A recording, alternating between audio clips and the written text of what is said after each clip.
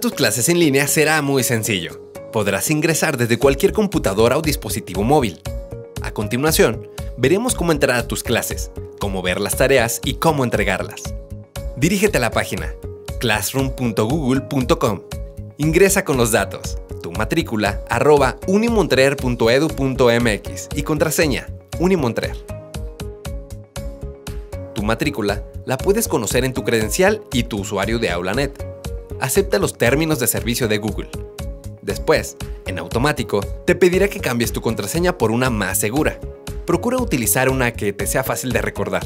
Da clic en Continuar y selecciona que tu función es como alumno. Te aparecerán las materias que estás cursando actualmente. Da clic en Unirte en cada una de tus clases. Clic en Enterado y dentro estará el link de acceso a tu salón de clases virtual. Tomarás tus clases en tiempo real, en el mismo horario de siempre. Dentro del salón virtual, deberás agregar tu nombre completo para registrar tu asistencia. Una vez iniciada la sesión, aparecerá la sugerencia de seguir con un tutorial de la plataforma. Te recomendamos verlo para conocer las herramientas disponibles.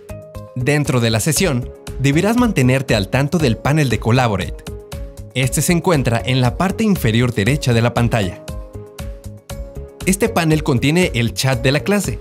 Revisa que el chat se encuentre en opción Todos, para que reciba los mensajes de los compañeros y ellos puedan ver los tuyos. En esta pestaña podrás ver a los compañeros conectados en tu clase o conferencia. En la siguiente pestaña encontrarás los materiales que el docente pondrá a tu disposición para la comprensión total de la clase. En la última pestaña podrás encontrar algunos ajustes, como la foto de perfil, la cual te recomendamos que uses para que puedan identificarte tus compañeros y docentes. Por último, tienes dos pestañas con las que podrás interactuar en la clase.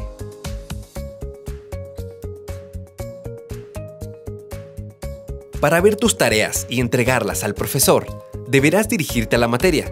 Da clic sobre el menú, clic en la materia y después en Trabajo en clase. Aquí estarán creadas las tareas que tu docente dejó en clase. Abre una de ellas. Da clic en Ver tarea. Aquí te indica cómo entregarla. Y por último, puedes subir tu documento Word o PDF dando clic en Archivo. Recuerda subir tu tarea a tiempo, de lo contrario, cerrará y no la podrás cargar. Listo. La educación en línea requiere participación activa de tu parte a la par que tus docentes, y es mucho más de lo que aquí mostramos. De momento, es lo que necesitas conocer. Sigue explorando las herramientas del sistema y utilízalas. Cualquier duda, comunícate vía telefónica con tus docentes o directores o envía un correo electrónico a mesa de ayuda